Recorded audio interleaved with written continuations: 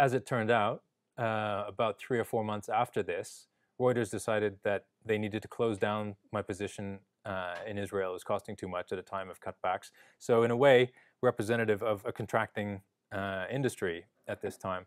So I took a buyout, and that's when I decided to work on the book.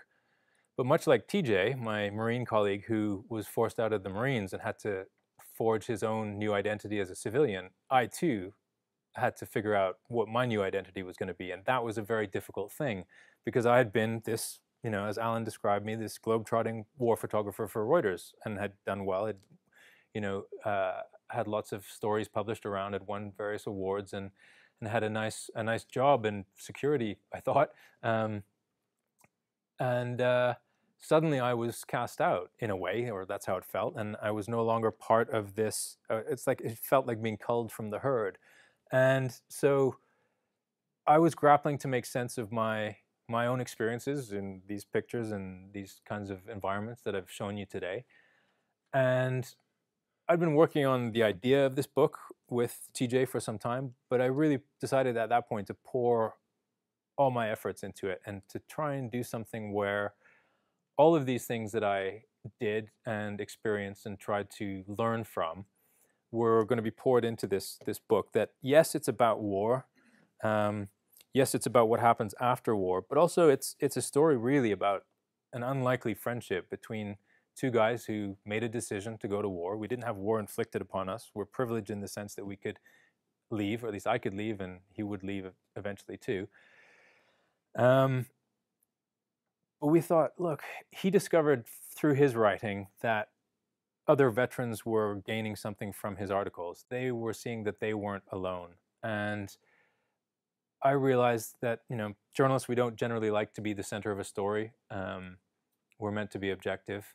Uh, but I realized that he had, he had had this quite cathartic experience in writing about his, his own story um, and sharing it with other Marines. And I thought, well, if I do that, as uncomfortable as it may feel, maybe uh, people won't as feel, uh, people who read it won't feel as alone as I did when I left Reuters and when I was trying to figure things out for myself.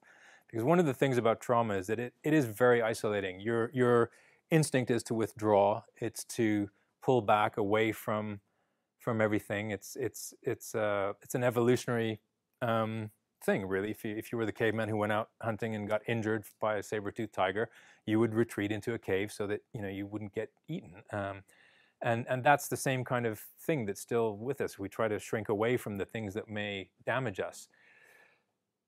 But that becomes a very lonely and isolating experience. And the thing that you need to be doing at a time like that is actually engaging with those people who can support you and who, who can help you. So the idea of the book was really to show um, how friendship and those close to you will, will make a difference when you are facing your most difficult struggles personally. Um, and that, that's whether you're a member of the military, a member of the media, or just anybody in, in, in the general public, really.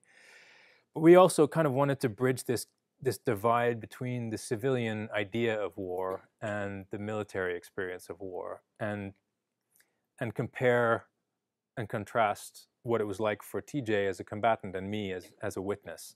And, and in a way, I'm the civilian conduit into his world that he opens up and discusses, uh, you know, in great detail and, and in a very powerful and emotional way, the things that he had to grapple with and the things that he did that wounded his soul. Um, and it's not the threat of, of bodily injury. Um, you get over that fear pretty quickly when you've experienced combat um, or even dying it's it that that doesn't really become an issue. It's more the moral quandaries, the ethical questions that we have to confront as journalists, and the moral things that he has to confront as um, as a warrior who who did things that he's ashamed of, that he will live with for the rest of his life, and that he'll have to explain to his daughter, and now to a public that's going to ask him questions about the things that he did in Iraq. So, in a sense, we're trying to lay bare the things that we've seen and done and to make sense of them in a way that will hopefully be useful for fellow journalists and for, for anybody who reads it in, in the public who, who's dealing with trauma. One of the things for me that, that I've found really good is um, I've taken to cycling. I ride a lot. I ride 300 kilometers a week maybe on my bike. This is in Ireland where I wrote a lot of the book.